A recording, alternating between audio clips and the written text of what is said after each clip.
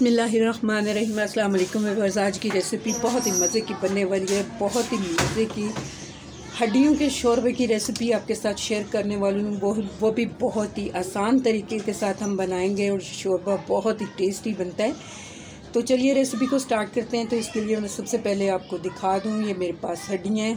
तकरीबन सवा किलो के करीब ये हड्डियाँ हैं। इनका हम यूज़ करेंगे और चीज़ें दिखाती हूँ आपको।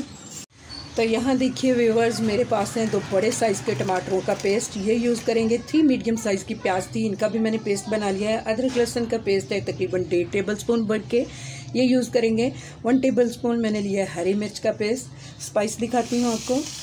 तो यहाँ हम बहुत ही सिंपल से स्पाइस यूज़ करेंगे। कुछ गरम मसाला मेरे पास। दो पीस दालचीनी के थे, जिन्हें मैंने छोटे टुकड़ों में कट किया है। दो पीस मोटी इलायची के हैं, दो पीस छोटी इलायची के हैं, चार से पाँच लौंग है। वन टीस्पून ज़ीरा साबुत है मेरे पास, वन टेबल स्पून धनिया पाउडर है। वन टेबल स्पून भर के मैंने लिया लाल मिर्च का पाउडर, वन टीस्पून हल्दी का लिया मैंने और वन टीस्पून मैं यहाँ पे नमक का यूज़ कर रही हूँ। अकॉर्डिंग टू टेस्ट आप स्पाइसेस में यूज़ कर सकते हैं। तो चलिए रेसिपी को स्टार्ट करते हैं। तो यहाँ देखिए व्यूवर्स एक देगची लिए मैंने, उसमें मैंने तकरीबन तीन लीटर के करीब इसमें पानी ऐड किया है। पानी में बस बॉयल आने ही वाला है। तो सबसे पहले यहाँ हमें हड्डियों को साफ़ कर लेना है। तो उबलते हुए पानी में मैं इस तरह से ये हड्डियाँ ऐड कर दूँगी। जो ही इसमें बॉयल आ जाएगा, तकरीबन एक से दो मिनट ही हमें सिर्फ़ इसे कुक करना है। और ऊपर अच्छी खासी देखिए, इन पर मैल सी आ जाएगी। तो हमें इस तरह से हड्डियों को ड्रेन कर लेना है इस पानी में से। तो मैं दिखाती हूँ आपको। तो यहाँ देखिए, व्यूवर्स जैसे कि मैंने आपको बताया था, इसके ऊपर झाग सा जब नज़र आना शुरू हो जाएगा, इस तरह से ये मैल सारी इसके ऊपर आ चुकी है।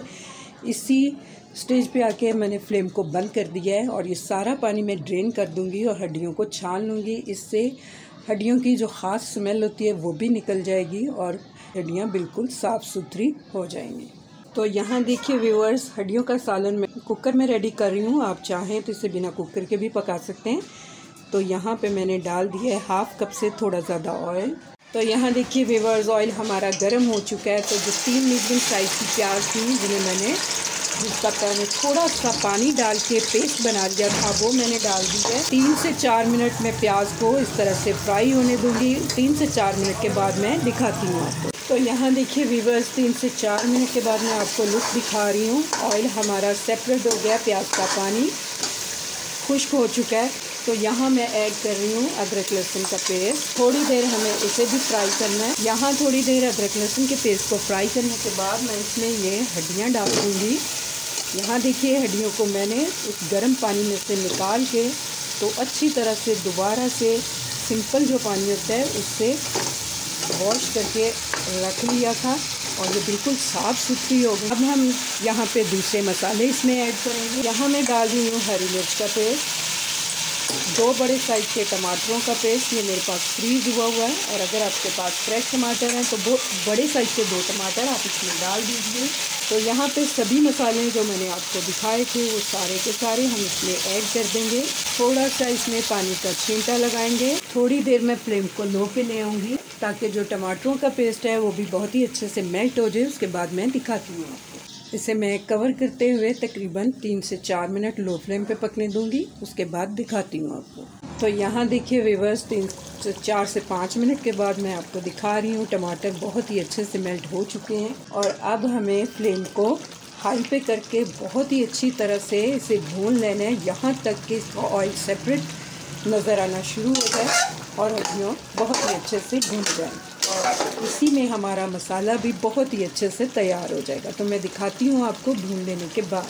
तो यहाँ देखिए रिवर्स हड्डियों के शोरबे को बहुत ही अच्छा सा क्रीमी टेक्सचर देने के लिए मैंने इसमें लिया हाफ़ कप दही।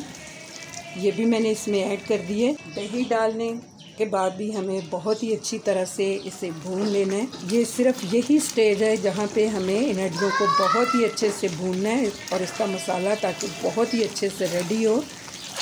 वैसे भी जब प्याज का पेस्ट डालें तो मसाला बहुत ही अच्छे से रेडी होता है।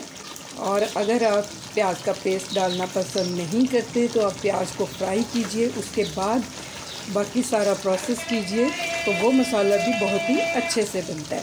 और ये सबसे इजी वे है। इसमें मसाला बहुत ही अच्छा बनता है और ज़्यादा मेहनत भी नहीं करनी पड़ती।